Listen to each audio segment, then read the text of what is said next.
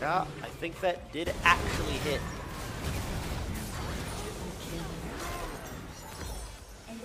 Fuck.